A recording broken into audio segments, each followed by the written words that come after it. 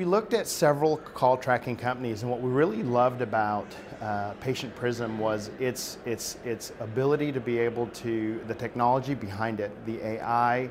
the, the gamification, the fact that we can embrace and teach our teams, they have a learning environment. Um, and we've noticed our teams have really embraced it. You know, at first it was a, a, big brother feel that maybe somebody's listening to our phone calls, but then it became a game, and our teams really excel at really wanting to be able to have 100% acceptance of the day of and, and getting the call back. And they, we celebrate our wins, uh, you know, through emails every day when we get all of our end of the day of how well we've done with Patient Prism.